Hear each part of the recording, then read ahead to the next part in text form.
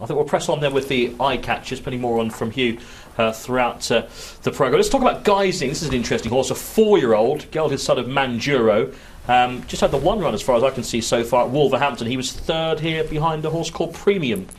Yeah, this is a, this is a, a time-based one really. This was running a really good time. This this race at Wolverhampton. Now the runner-up, excellent puck, ran yesterday. In fact, was the horse who finished second to Burgoyne, and I wouldn't I wouldn't see that as a negative at all that he got beaten um, because again the the front three in that race pulled a long way clear.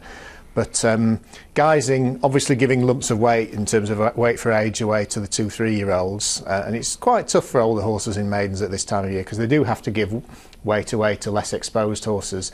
And I thought this was a really promising mm. debut. He was 25 to 1, wasn't he? So he was pretty much unfancied. Unfancied in the betting. Um, and he's, but his, his Dam Trick or Treat was a very useful mare on the flat. And already um, Geising's half brother won on heavy ground first time out last season. Um, and so if this, this might be an interesting horse on a soft ground maiden, he's obviously interesting as well kept to, to Polytrack, but on a, in a soft ground maiden, um, he, he, might be an interesting horse in, in the coming weeks. I thought this was certainly the time of this race. We're starting to see the better three-year-old maidens now on, on the all-weather, mm. as we will on turf, obviously, and, and I think the front three are all above average. Yep, Barry Hills' horse you can see coming through to win the race. Oh, sorry, Charlie Hills' horse coming through to win the race late on. Um, and uh, the horse in second, second again, as you mentioned there yesterday. That's Geising, who ran well there for a long way uh, at Wolverhampton. Street Artist, the next one we're going to have a look at. This is a horse who's a son of Street Cry, trained by Mark Johnston. He made his debut just a, a few days ago at Wolverhampton here, finishing second, Hugh.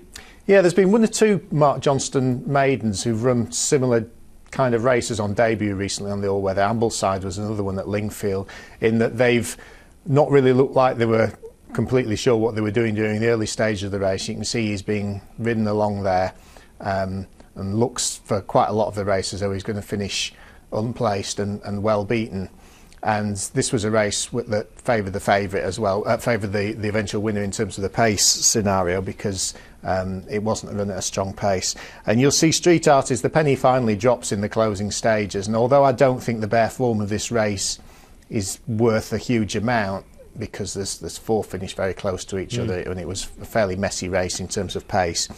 He's going as well as he's ever gone at any stage of the race um, at the finish. And I just think that it's just a timely reminder that what Mark Johnston three-year-olds do uh, over the next couple of months is they stay very well.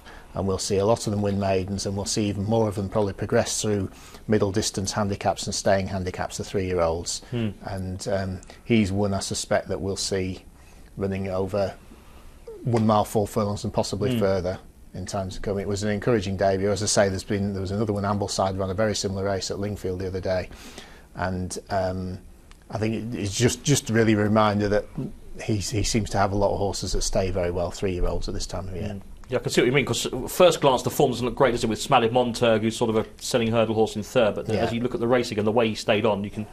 You can yeah, and you, you watch the, the, the way he, he was whether you call it greenness or whatever, but it just took so long for him to get a, any idea of what he was meant to be doing in the race, and he did stay on in the closing stages quite well. So I think he'll improve quite a lot for that run. Okay, Another horse to have a look at now is a horse called Hasopop. He won a race on very heavy ground. Remember that race he won at Newmarket last season when it was absolutely bottomless on July Cup Day. Um, he made his comeback run here at Lingfield um, at the weekend behind uh, T.O. Phillip. This was a good run. Yeah, T.O. Phillip's is a stablemate and runs in the same colours with a white cap. And uh, was dropped in from his wide draw and he's not going to get anything like the run of the race. Um, he, he's, he'll get stopped, hampered, uh, no clear run and he's emphatically better than the result. Um, his form was a bit up and down last year, and I think I remember reading once his trainer said he was a bit of a character, but he's been gelded since he last ran, and you can see his rider just can't get any sort of a run, and he loses a lot of momentum as well. And I thought he did pretty well to pick up, and he finishes about fifth in the end, I think. Mm. Uh, I thought this was an encouraging reappearance. the only question mark in my mind is he also ran a very good race uh, on one of his two other runs on Polytrack when he ran in a Group 3 over six furlongs at Kempton and he finished really well. And it is in the back of my mind that he might just be a Polytrack horse, whether he can transfer this back to turf or not. He's, he's run well, as you say, he won on, he won on uh, soft ground on turf. He's, he's, he's run well on turf before, but I do think he's that's twice now he's finished with a flourish on polytrack, and he might just always be a horse to, to bear in mind on that surface. Okay, so look out for Hasopop there, perhaps on the polytrack at next time out. Um, a horse to have a look at now is uh, Edwin Ralph as well. I saw this horse run at Lingfield a few runs ago. I think he was a he was uh, behind Ray Ward that day. He's won since then. He beat Yal, who then went on to win a little race at Southwell the other day. Um, he finished second at the weekend behind Poetic Verse here. Yeah, and this was um, this is not the first time that um, uh, a Rod Millman horse has caused a bit of an upset in, uh, against perhaps uh, less exposed horses. But um, Edwin Ralph again isn't going to get the run of the race in the closing stages, and uh, he, he's kind of ridden along from, from quite a way out, and he doesn't get a clear run, and he has to be switched inside and out. And meanwhile, the eventual winner gets switched to the outside, gets a very good ride from Andrea Atzeni, who's, who's riding extremely well, builds up momentum, and challenges widest, widest of all. You, you, can see Edwin Ralph. Green just, colours, yeah. Yeah, he's, he's just struggling to get a run through, and he loses momentum. And again, that's that's always a big. Um, uh, that has a big influence at Lingfield if you lose momentum, and he manages to pick it up again, and he's he's finishing well at the finish. Um, I think he's probably improved for running over one mile four furlongs, mm. and although they finished again in a bit of a heap. Just see again here, he's the red red cap in behind. Yeah. oh, he's really taken back there, isn't he? He's lost yeah. a lot of momentum, as you say. Yeah, and it's and meanwhile the winners winners got got a ahead of steam down the outside, and once they're in front down the outside at Lingfield, they seem to they're, hard to beg back if you're on the inside and you've lost momentum coming around the bend. So I thought that was a good run. Yeah, he's definitely one to look out for. That's Edwin Ralph there for the uh, David Simcock operation. He should be able to win a race very soon on the All-Weather. You would imagine he's won once so far. So these are the four we're going to go with. Geising, who we saw run a promising third at Wolverhampton. Street Artist, who stayed on well to be second on debut. Hasopop, who ran well in the listed race at the weekend. And Edwin Ralph, who was arguably unlucky in defeat last time, I think. I can see I can see a reasoning behind all four of those. So yeah, I mean, some some weeks it's there's, there's not many thrown up. I'm sure we'll get plenty of eye catchers when once the turf starts. Sometimes it's a bit of a, a grind on the all weather trying to find something that really is a lot better than its result. But um, there's a few there anyway. Okay. Now, some horses that caught your eye at Cheltenham as well last yeah. week. I know that Cloudy Too was one that you put up in the, the handicap chase on the first day. He was still there with a chance at halfway, and you, you were still taken by his run? Yeah, the two, I've put them both up actually, the first two I've put up, and it's not, uh, I'm, maybe I'm kidding myself a little bit uh, in terms of those, but they both raced quite wide, and on the first day and second day on the old course, when the going wasn't too bad, I thought that the, it was a disadvantage to be racing wide. Perhaps later on in the week it wasn't such an advantage as, the, as the, especially on the Friday when the ground softened. But um, Cloudy Too, he did go really, really wide, and he, he he looked like he was getting back into contention with about half a mile to go, and I think he's he's probably got enough weight now, maybe, and um, it was perhaps a step too far at this stage in his career. But I, I still like this horse. I think there's um, he'll, he'll do well in time. I think he's a horse that Sue Smith will do will do very well with. Our Mick has been running consistently well in these big handicap chases around Cheltenham, and he's he's just unlucky in that he's run into one who's mm. produced uh, the the Colin Tizzard horse whose name escapes Golden, Golden Chieftain, Chieftain yeah. who's who's produced perhaps a career best. He's kind of threatened to be a good horse at times, Golden Chieftain, but he's he's run away with the race.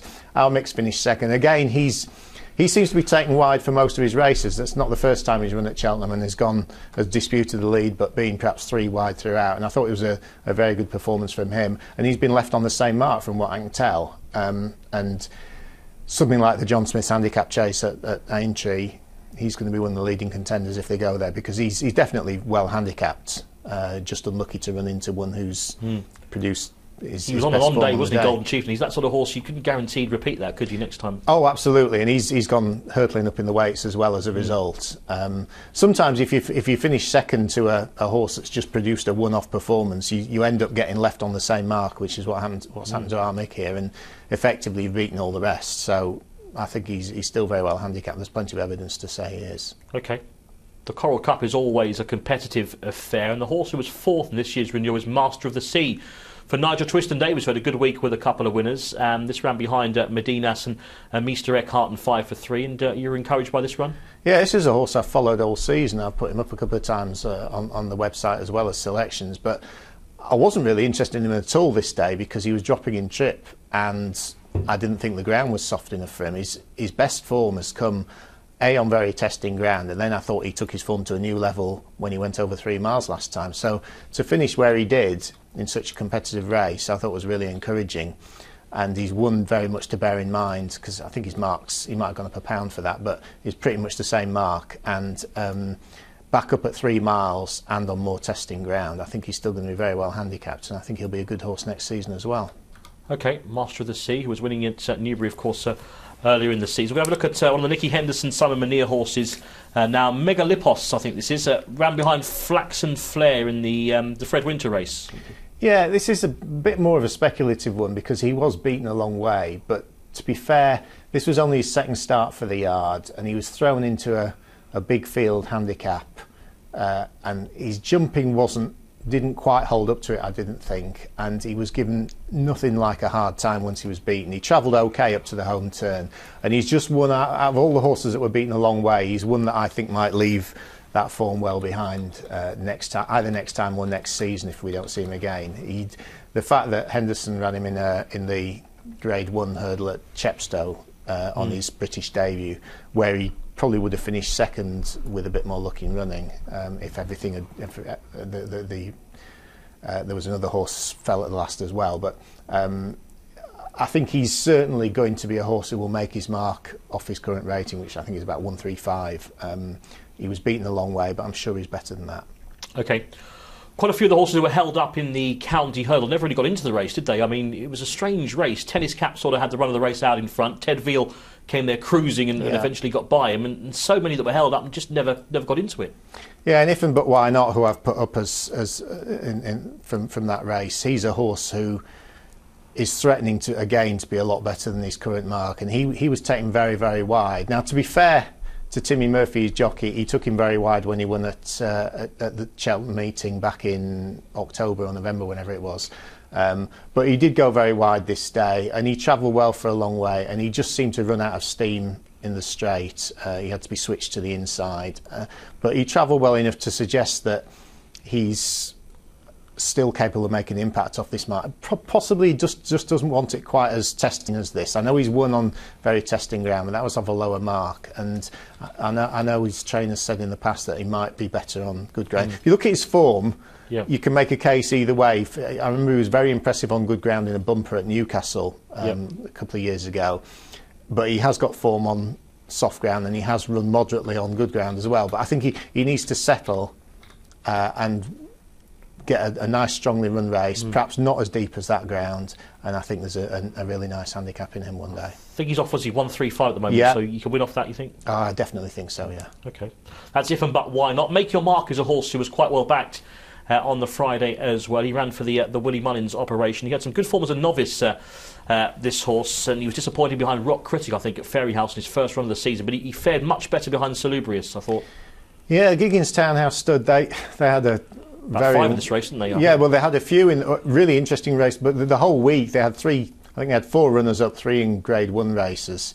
Um, so just an unlucky week for them. And this was a horse. By this time, the ground was really bad, and um, any horse who was remotely keen during the early stages was always going to struggle to, to finish the race off. And I thought this horse was just a little bit keen in the early stages, and he travelled through the race really well. And I think he's just found the test too much. But I think he's gone through the race like a horse who's ahead of his handicap mark, mm. um, and he's he's one that I would want to keep on side for I don't know Punchestown or, or wherever Aintree wherever he goes next, and um, and next year as well. Because he didn't run too badly, did he? The novice race behind Simonsig last season. He, um, I think he was sixth or seventh in that, wasn't he? Fair enough. Forgotten about that. Actually, it was it was just this run. There were there were two or three interesting ones from the stable. Mm. I thought, and I thought he was he was a big eye catcher in this race for sure. Yeah, he was ridden by Declan Lavery, uh, of course, last week. That's make your mark. We'll look out for him as well in the coming weeks.